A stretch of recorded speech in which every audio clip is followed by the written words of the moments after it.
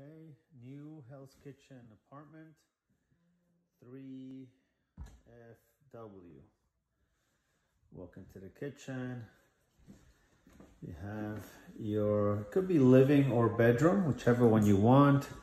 Decorative fireplace, really nice, big, deep closet.